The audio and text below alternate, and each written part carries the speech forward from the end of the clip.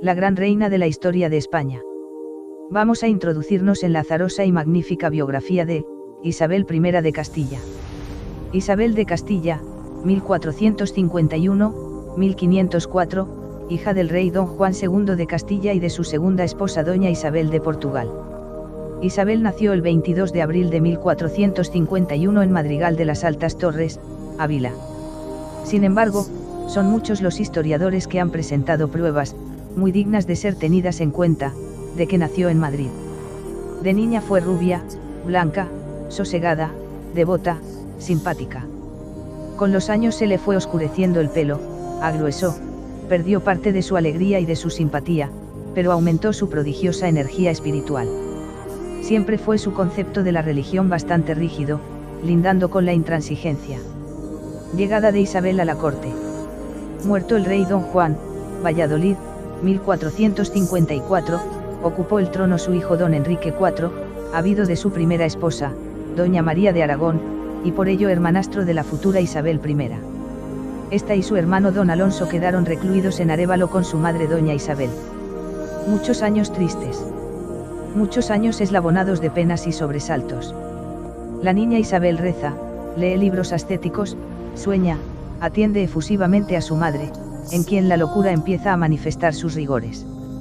Pero su hermanastro el rey decidió que Isabel y Alonso marcharan a la corte, establecida en la ciudad de Segovia. Porque pensaba lo útil que podría ser a su política el casamiento de su atractiva y seria hermanastra. A punto estuvo de contraer forzado matrimonio con el rey don Alfonso de Portugal. Poco después aún peligró más su futuro, pues que don Enrique dispuso su enlace con el brutal, vicioso y poderoso caballero don Pedro Girón. Menos mal que la providencia, velando por tan honesta doncella, determinó que don Pedro se rompiera, la crisma, cayéndose del caballo, que montaba ebrio, cuando se dirigía a Segovia en busca de su codiciada futura esposa. Pacto de los toros de Guisando.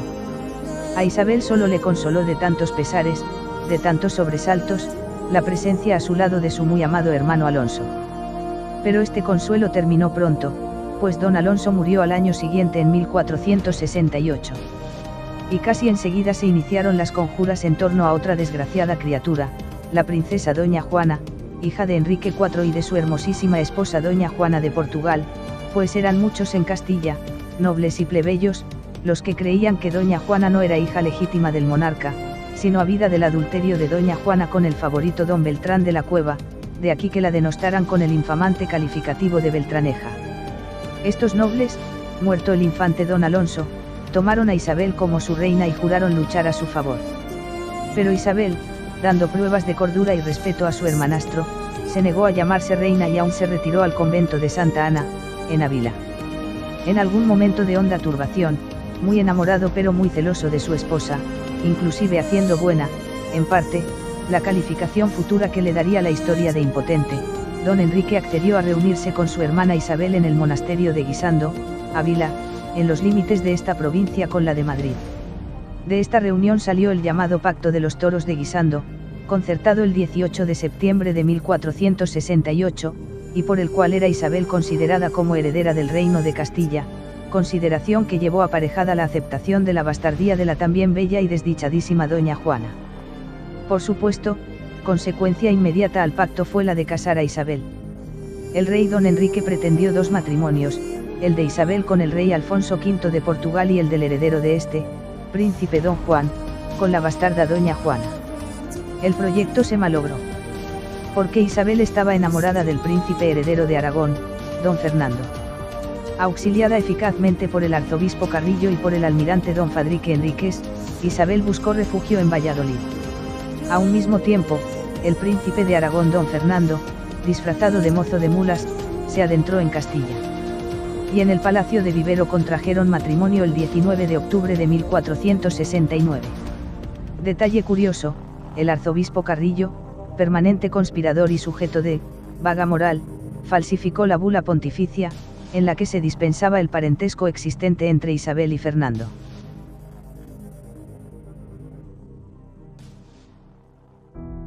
Nuevo inicio de batalla en Castilla. Parece innecesario declarar que cuando se enteró de este matrimonio, el rey don Enrique, montó en cólera, y determinó, tomarse gran venganza. que consistió en gritar que doña Juana, la Beltraneja, era su hija legítima, y que solo ella era la heredera de su reino. Los gritos y el reconocimiento del monarca llegaron tarde, y la infeliz princesa se encontró con escasísimos defensores para sus derechos. Escasísimos, pero algunos de ellos poderosos, intrigantes hasta la obsesión, el marqués de Villena, el conde Arevalo, y el danzante arzobispo Carrillo que había cambiado de bando como quien cambia de camisa.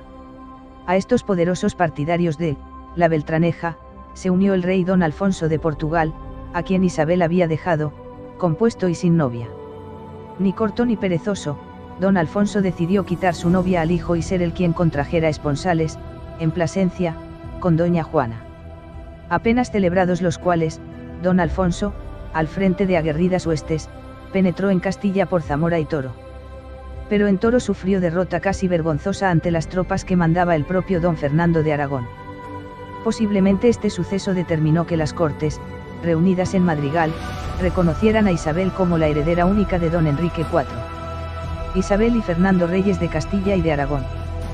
Poco después, Isabel y Fernando, con un gran ejército marcharon a tierras extremeñas, en las que se habían refugiado los nobles y el arzobispo partidarios de, la Beltraneja, porque el rey de Portugal había huido con ligereza de Corzo hostigado a sus inviolables tierras. Al marqués de Villena se le privó de su señorío de Trujillo. Todavía durante algún tiempo, colearon, las pretensiones portuguesas acerca de Castilla, pero derrotado el rey don Alfonso en Albuera 1479, hubo de aceptar el Tratado de Alcozobes, en el que tanto él como doña Juana, la Beltraneja, renunciaban a sus pretensiones. Y como en 1479 falleció el rey de Aragón don Juan II, y como desde 1474, año en que murió Enrique IV, era reina de Castilla Isabel, en aquel año quedaron unidas las coronas de Castilla y Aragón.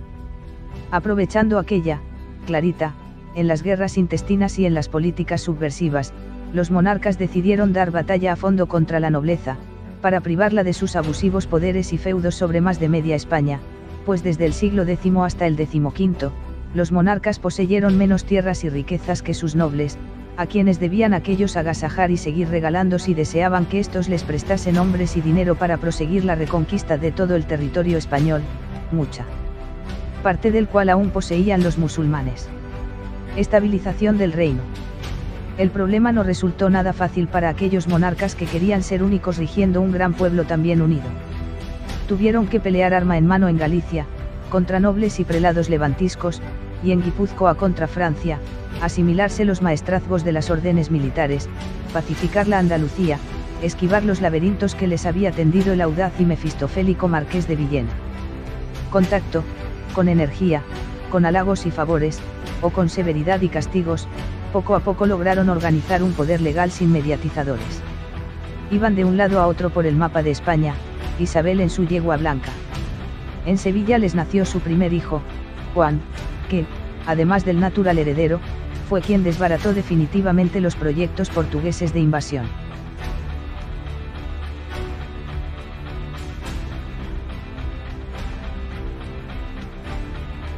España, primer Estado moderno.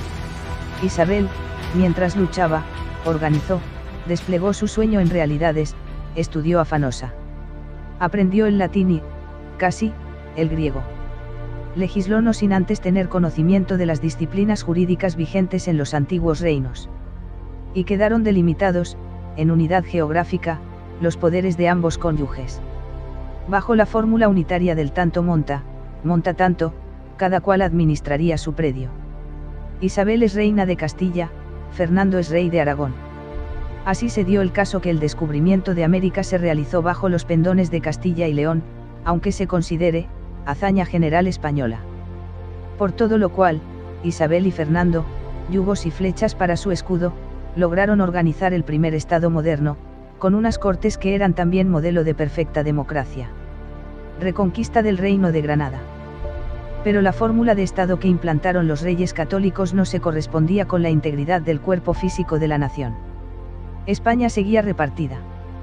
Todavía en sus tierras del sur existían fragmentos de lo que fue poderoso califato de Córdoba.